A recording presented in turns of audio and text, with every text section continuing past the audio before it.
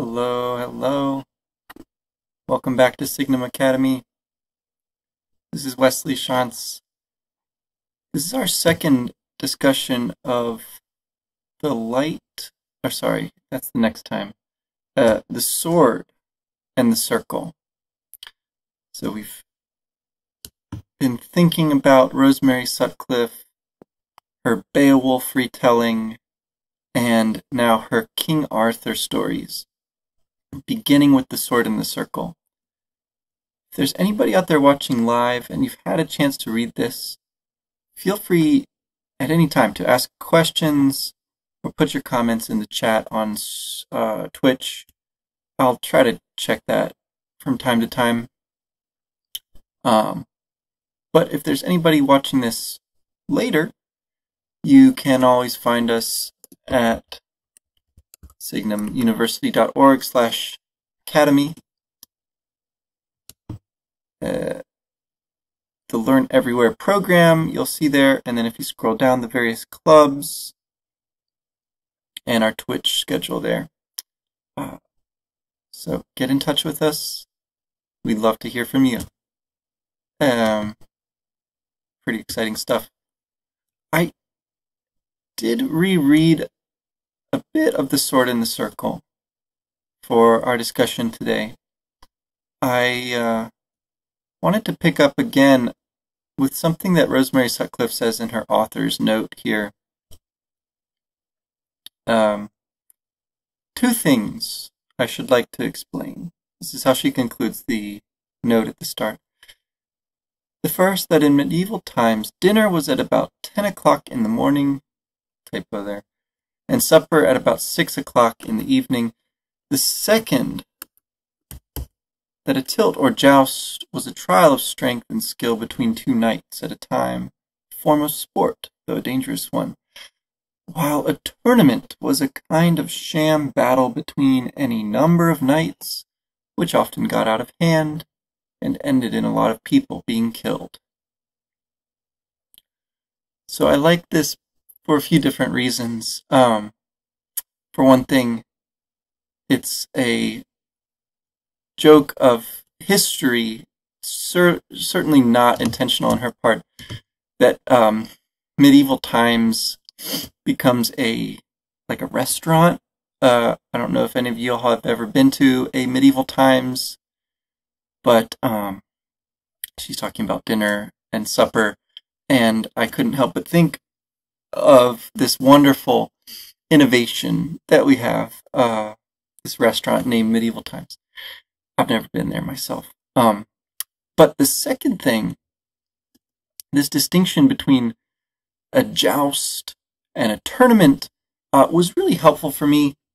This is something I never had too clear of an idea about.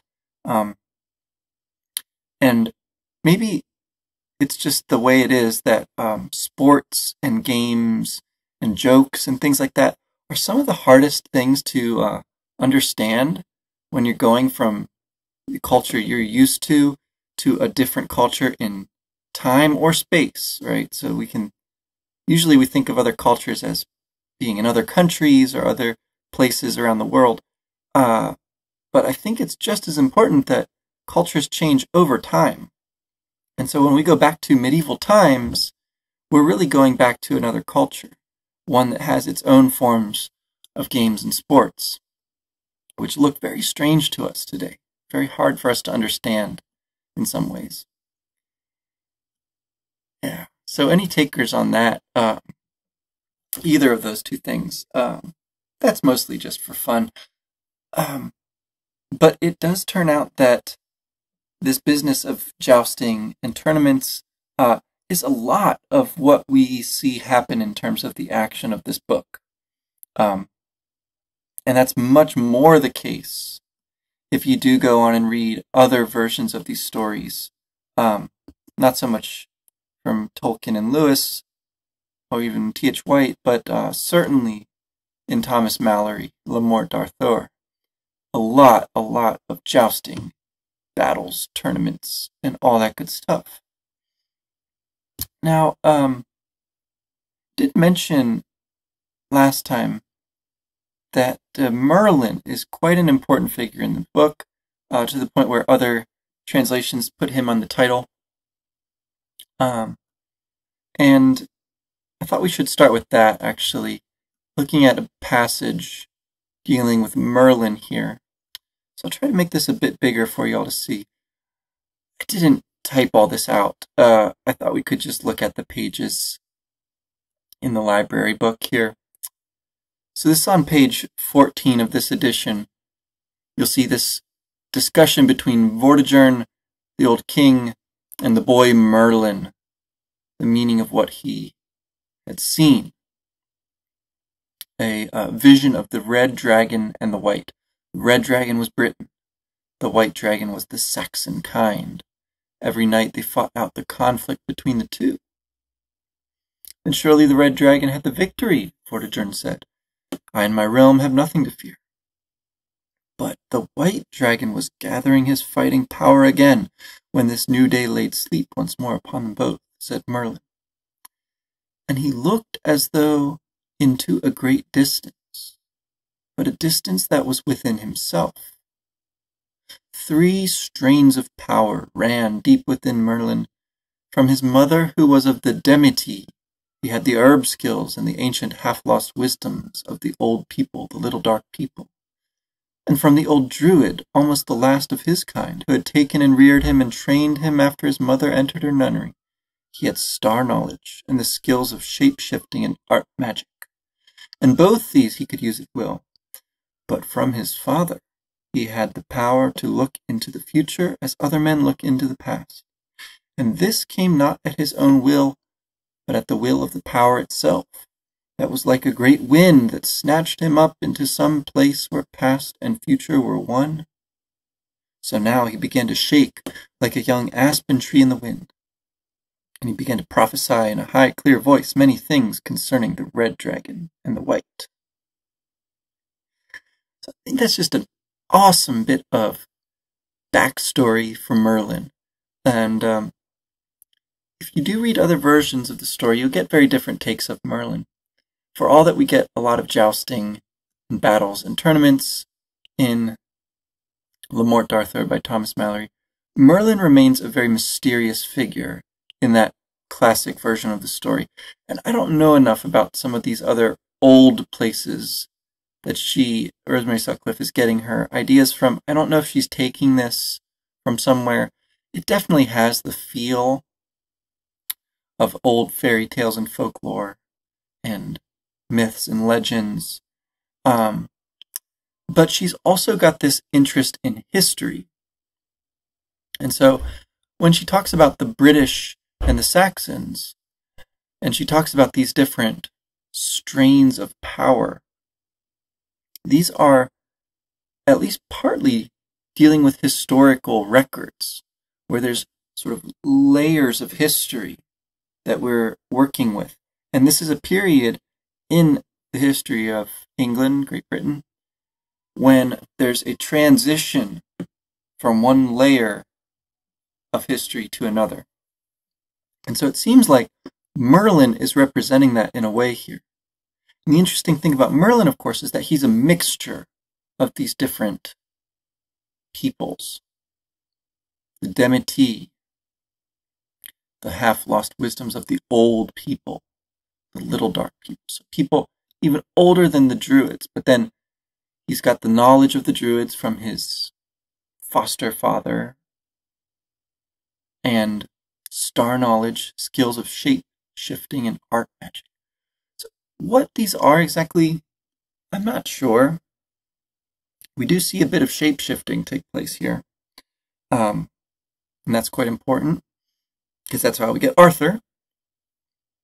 Um, art magic, I don't think is a pun on Arthur's name, um, although I like the thought. Um, I think it's talking sort of about spectacular magic, the kind of uh, fireworks and so forth that Gandalf is famous for. Um, and these are the kind of magic, along with his herb skills, things he can use when he wants to, at will. But then there's this other kind of magic from his father. And in lots of versions of the story, Merlin's father is demonic, angelic. It's unclear. Um, some people who don't like Merlin very much say his father is the devil himself. Um, but it is important, kind of strange, that this power has its own will. And Merlin is not in charge of when he will see the future the way other men see the past. Um, so it's kind of maybe like a dream, right? The way in, in dreams we're not fully in control, um, but we do see past memories sometimes and things like that. Um, but this is happening while he's wide awake. It's like a wind that passes through him. Thinking again of the wind in the door, and I looked for that phrase in Rosemary Sutcliff's retelling. I don't think it appears. It's, of course, the title of the Madeleine L'Engle book, um, and it does appear in the Thomas Malory uh, Morte d'Arthur. Um, but we do have that wind image here, which I think is kind of interesting. Um, it's something that uh, he becomes kind of the the filter, right? But the power is beyond him. It it's using him. It's using his voice. So the long and short of it is, um, Merlin is mysterious. His power is old and greater than him uh, than himself. Um, and he's a kind of servant of it.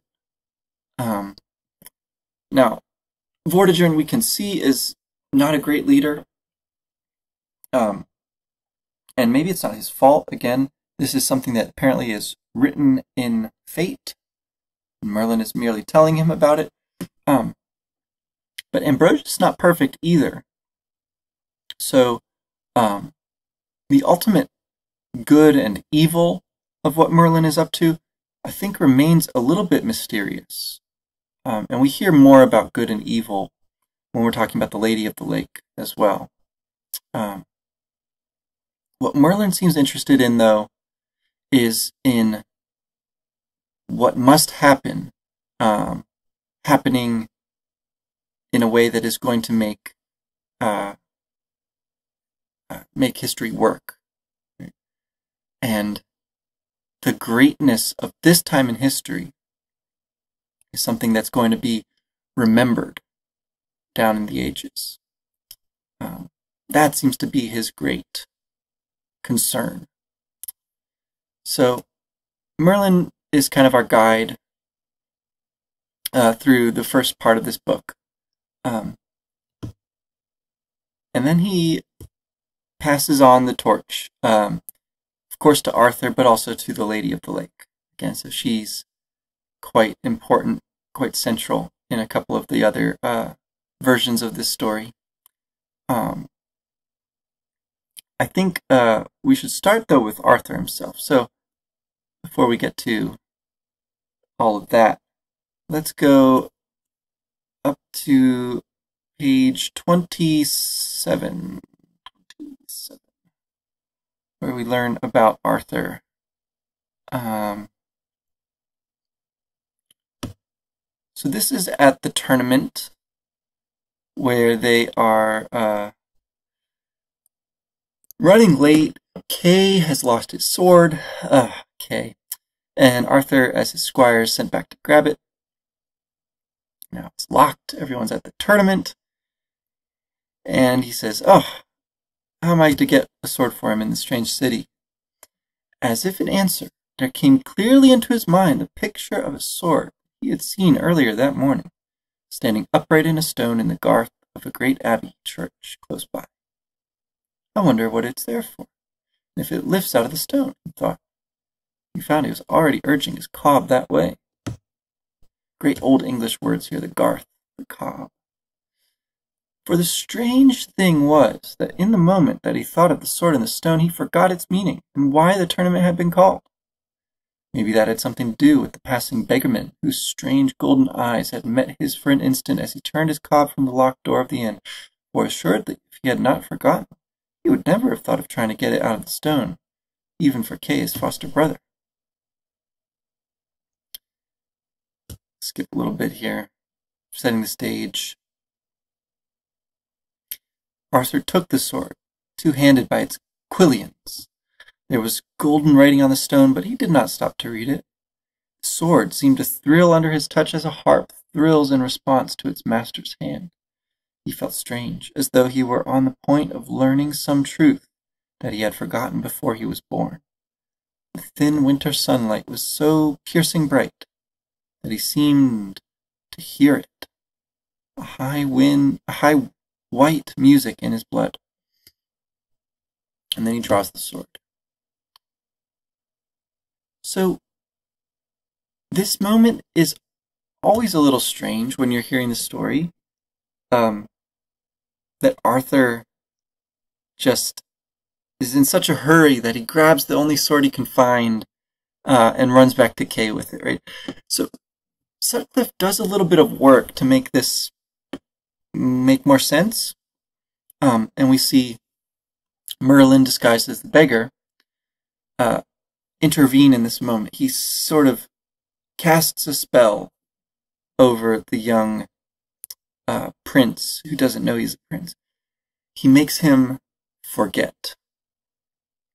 So there's a forgetting happening in Arthur here that's important because it means he'll try something that's otherwise a little bit crazy. But along with the forgetting, there's this learning, almost like remembering a truth he'd forgotten before he was born. This idea is what you sometimes hear described called recollection. The idea that recollection in this sense is a a knowledge that you have without realizing it, and then something makes you remember. And there is a big discussion about whether we can ever truly learn anything or only be reminded of it, of something we used to know. And there's no way to really prove this one way or the other. It's more of a kind of philosophical problem. It's a, it's a thought problem. How do we learn things? Okay. Well, you can probably think of lots of examples of times when you learn something, but when you really get it, when that moment clicks, it's almost like you're remembering it. It's almost like it's a knowledge that you had, just had to realize that you had it. So there's this weird kind of on the one hand, Arthur's forgetting. On the other hand, when he touches the sword, there's this kind of power that he feels. It's compared to music, like a harp. It's compared to learning. And again, compared to music in his blood. Um, I think, like Merlin, has these different layers to him we can see here that Arthur does too. What he's remembering, of course, is who he really is. His identity as the prince, the rightful king now of the island. So,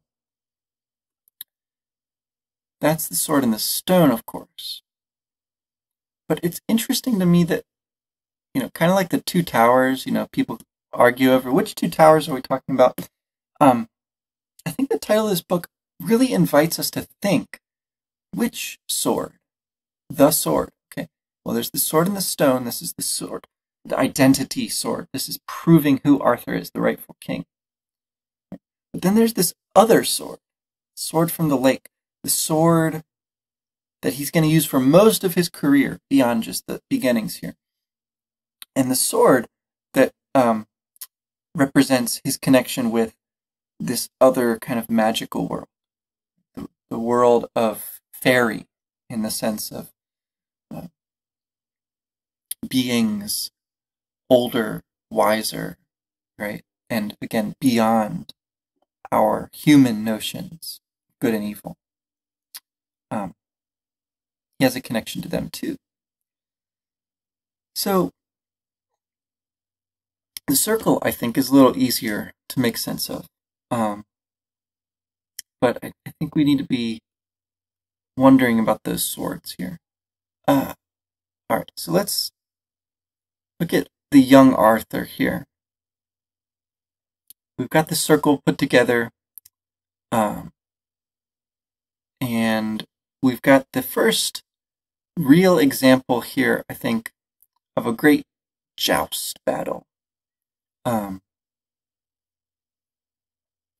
so King Pellinore, another king running around, right? There's all these other kings running around. Arthur has got to bring into line. And uh, the lady wants vengeance because her her master has been killed. Uh, and Arthur wants to go himself, um, but this boy Griflet speaks up and claims the right to go. Um, so Sir Griflet, this young kind of alter ego for Arthur, right, goes after King Pellinore, and uh, he whacks the shield that's hanging there. King Pellinore comes out and asks, Why smote you down my shield? Sorry, this is on page 38. Griffith answers, For that I would joust with you. Formal, right, uh, mode of address. It's challenge. And Griflet's no match for Pellinore. Right? He's just a kid. But he insists. And so Pellinore obliges. Um, King Pellinore took his spear and shield and mounted his horse. They drew apart the proper distance and turning, set their spears in rest and rode full tilt upon each other. Griflet took King Pellinore in mid-shield, shattered it to pieces. Pellinore's point went clean through Griflet's shield and deep into his left flank, and there broke off short the point lodging in his body, and horse and rider were brought crashing down. Doesn't go well for Griflet. Does not go well for Griflet. So, we're told that the tournaments are the really dangerous one, um, but the joust, you know, people die in jousting too. Um, and what this is, I think, showing us is that this is a a society where strength, physical strength, matters a lot, of course, right? Um, but just as much, maybe, is courage. Right? Griflet is not a terribly strong warrior, not even really a knight, uh, until King Arthur allows him to go on this this joust. Um, but he is very brave. Right. Um, his courage is undaunted. Uh, he does not take no for an answer. And you can say a lot about um, how messed up this old medieval society is, but that sense of courage in the face of danger is at least a little bit admirable, I think. Um, certainly the way that Rosemary Sutcliff is presenting this in line with her sources. She's making this something that we can really feel the importance of it. Uh, we can really put ourselves in the story, and um, when that spear goes in, you really feel that. I think, um, and and the sadness of Arthur when he comes upon his his freshly made knight um, so then Arthur challenges Pellinore, uh, gets a little bit further, deals a bit of damage uh, to Pellinore, but Pellinore bears him down, right? And Arthur would rather die than yield. The problem is, again, Pellinore doesn't know who he's fighting. And so Merlin has to swoop in one more time here. If you slay this man, you slay all hope for Britain, he says. He is Arthur the High King. So, um, strength, courage, in very high regard here. Um, knowledge, right? Even knowing who it is you're fighting, not so important. Um, and certainly uh, lots of um, lots of courtesy, right? Saying the right things and going about things the right way. Um, that all matters a lot. Um, but even knights can lose their cool, right? Um, Pellinore's about to kill this young man. Um, and we see this much more so in the first real quest that we get, the first big quest of the Round Table. Um, Pellinore participates in it. Gawain also, uh, and is it Lamorak who's the third? Yeah, I think it's Lamorak who's the third one. So it's this quest where the three knights go in different directions, chasing after three different uh, sort of components. Okay, um, and in this quest, things go kind of sideways, uh, especially for Gawain, who really loses his temper and goes to kill his opponent, and the lady jumps in the way, right? Um, so if we go back a bit, around page 52, we have some important prophecies about the Round Table. Percival, when he shows up, is going to be the sign that the end is near. Um, but then, this is something that keeps on happening to King Arthur. Um, just when we're about to sort of figure out some mystery or have dinner or whatever it might be, right? the mystery of the Holy Grail is is just teased here for a moment. Um, then this deer, this hart, flies in after a, a hunting dog, a brachet, the black hounds, and um, and then a a knight, uh, or sorry, no, a, a horse and a, a, lady comes in after it, um, a maiden on a white palfrey. So the knight carries away the, the dog. Um, the lady wants the uh, the dog back, and Arthur looks at Merlin like he doesn't know what to do exactly. Um, but Merlin says, "Send your knights after them," and tells him who to send. Um, the important thing here seems to be that when strange things happen, when mysteries are before us, we can take some kind of action about it. We can go after and try to set things right. Um, again, we don't know the full story. We don't have full knowledge of who the lady is, who the knight is, why they're chasing each other around, right? We don't really need to know exactly because Merlin uh, has knowledge about the future, right? He can't control it, but he does. And so, in some way, in these stories, things are fated. There's a fate, kind of like Beowulf talks about. Um, but again, we can't know fully, but we are involved in. We're connected. Um,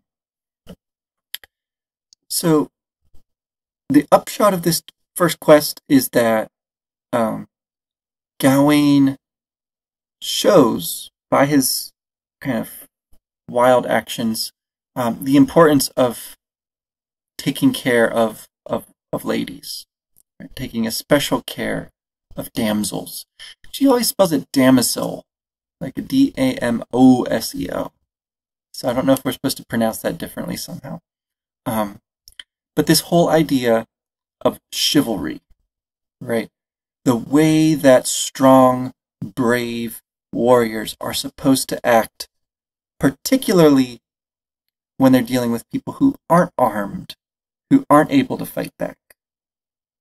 Right? so this is something that Arthur and the Round Table are meant to uphold, to not just allow random kings to run around causing mayhem, right? Random knights, um, but to certain enforce certain rules in the kingdom. So again, we have this idea, I think, of the importance of jousting tournaments as games, as um, ways to contain this dangerous strength, this lack of, of perfect knowledge, this foolhardy courage, you know, at times really downright stupid courage. We need a way to keep that in check. And so the way is this this game called jousting, this thing called a tournament, and now this concept of chivalry, right? Of um, being courteous to ladies, especially, and also trying to follow the rules when you're facing off against another knight um, in battle. Again, we don't fully know how Merlin knows that this is the right thing to do, but that's what he says. And we certainly don't know much about this mystery of the Holy Grail. So there is there is a higher level here uh, in terms of uh, what rules we're following, um, and and that has a religious aspect, right? The Holy Grail. We don't know much about that at this stage, um, so we'll have to just keep an eye out for that as we go along. And that that's what our book about um, uh, the light. Let me get this title correct here. I think it's the light in the forest that we'll be looking at next time. Ah, the light beyond the forest will be our, our book for next time. Um, and that deals with the Holy Grail. All right, so Arthur, Merlin, right, and we've been mentioning a few times around table, circle, and the ladies. Uh, we get introduced to Guinevere. Um, she is the one that Arthur sets his sights on. And Merlin asks, you know, are you sure about this? That's, uh, that's, you could have any woman, and that's the one that Arthur wants. But then there's also, of course, besides Guinevere, there's Morgan Le Fay, uh, Arthur's sister, who dabbles in magic, um, and who's always causing trouble. So, kind of inexplicably, again, Arthur always kind of trusts Morgan. Um, this is here, this is on 77, 78. Alas, all this is the doing of my sister, Morgan. Again and again Merlin warned me against her, telling me what she was and what she would seek to do, but still I trusted her and delighted to have her about my court. But never again, said Arthur in a weeping voice. Never again. So he's just been tricked into killing uh, another knight. We've been fighting uh, without knowing who each other is, uh, like you do. Um, and she's she's was hoping to get Arthur killed, right? Um, but instead he kills her dear uh, sweetheart, Sir Accolon. Now, um, her plot's not fully explained. Um, she seems to be causing trouble just for the, the sake of it. Um, I think if we know a little bit more of the background here, uh, what Morgan is up to and, and why she is tricking, deceiving Arthur, um, it probably has to do, again, with some family history that's in the background here. Um, but also, maybe she is not lying here when she says, um, Nay, but the fiends of hell tempted me. It was their doing, not mine. And see, the madness has passed from me. Right. The queen swears that she'll never do this again. Right. Then Morgan le Fay's heart almost broke within her, for she had indeed loved Sir Accolon in her fashion, and it was more than her hopes of usurping the crown of Britain that lay dead upon his bier. But she hid her grief for her own safety. Right. So she does have some real emotions here. And she might really have been tempted by some powers again, not the Holy Grail this time, but sort of the opposite, right? Um, dark powers, powers beyond her control, um, and the connection between magic and spirits and things like that is really unclear in these stories. Um, but she is certainly feeling some amount of uh, of remorse, of sorrow for what she's done here. Um, it doesn't stop her from stealing the scabbard, right, and and making Arthur vulnerable. Because as long as he had the scabbard, he was invincible, couldn't lose blood, but now he can. Um, so I think this is a sign again. Arthur isn't perfect. Uh, we know this from very early on. Um, there's a whole family story there, uh, and of course, his doom in the form of his son Mordred. We're going to learn more about that um, in the third book, I suppose. Um, that's there from the beginning. Uh, but um, these characters, even the evil ones, right? Even Morgan Le Fay, even the good ones like Arthur, they have a kind of um, passionate, emotional nature to them. They they really feel strongly uh, in a way that I kind of think people today, me, I'll speak for myself. Um, my emotions are usually pretty moderate. You know, uh, I don't usually have big swings of happiness and sadness. Um, but this is all taking place in a world where those emotions are big. Right? And so that's one other thing I think that we should be getting from this story. One other thing that, that Rosemary Sutcliff does a really nice job of conveying um, is that, that force of, of beauty and of danger, of um, great joy, great sadness, great sorrow, great grief, right? All of these kind of big emotions. So, uh, something you don't always see in, in modern stories or in modern life, really, right? We're, we're too comfortable now. Um, but you get it in, in these in these legends. All right. Well, that's Morgan. There's just a couple other knights that I wanted to just touch on here.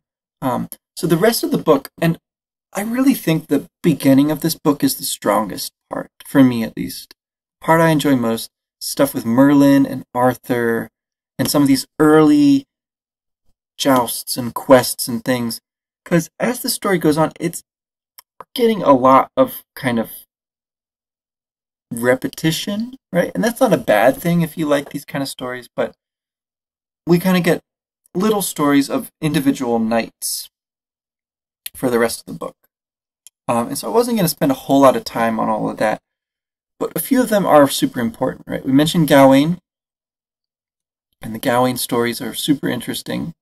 Uh, that first quest of the Round Table, where you get this concept of chivalry from, um, Gawain and the Green Knight, right, where we see his um, his courage, his faithfulness. Um, not perfect, but but he's young, as the as the Green Knight says, and he loves life. And then we see Gawain and the loathly lady, the loathly, the ugly lady. Um, another great story. Um, so Gawain gets a lot of time on stage here. Uh, in a way, again, he sort of stands in for Arthur after a while. He takes on quests that Arthur wants to do, but he really can't because he's, you know, the king. He can't be put in danger. Um, but then there's also Lancelot. And Lancelot, in another way, is kind of alter ego because he's the best of the knights, right? He's what Arthur really should be if he's the High King. Um, in this society, that should mean he's the, the great warrior as well. And Arthur isn't necessarily the greatest warrior. Actually, Lancelot is uh, pretty much unbeatable. Um, and he enters the story here. Uh, he's brought to the court. Um, he also has a connection with the land of the Lady of the Lake, and um, he uh, also, importantly, has a connection with Guinevere. So, let's see. Uh, yeah. On the. yeah, here we go. In the middle of page 88, we have this passage um, where there's jealousy about Lancelot. And so people think that's the reason Lancelot set off so soon on his first quest. They thought he went to prove himself, to quiet the muttering. Lancelot let them think it, but he had another reason. On the first evening, after his cousin Lionel had been made a knight also, when supper was over in the great hall, it's not all that late, right? Supper happens early. When the king and Sir Gawain were playing chess, he fell without knowing it to watching the queen as she sat with the torchlight meshed in her dark hair, listening with her chin cupped in her hand to an old song the king's harper was singing.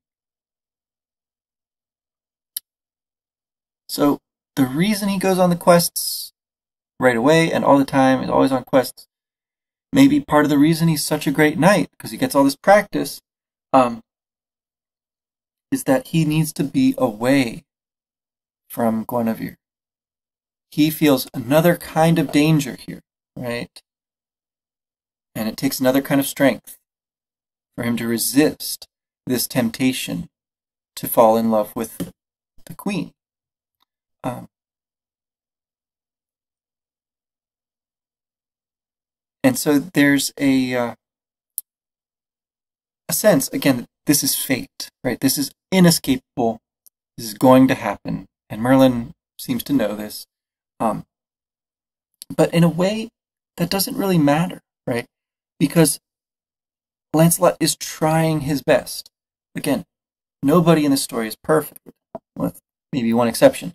Um, when we get there, uh, we'll talk about him. But but Lancelot is truly great in many ways, and he is fighting against this temptation that he knows is wrong.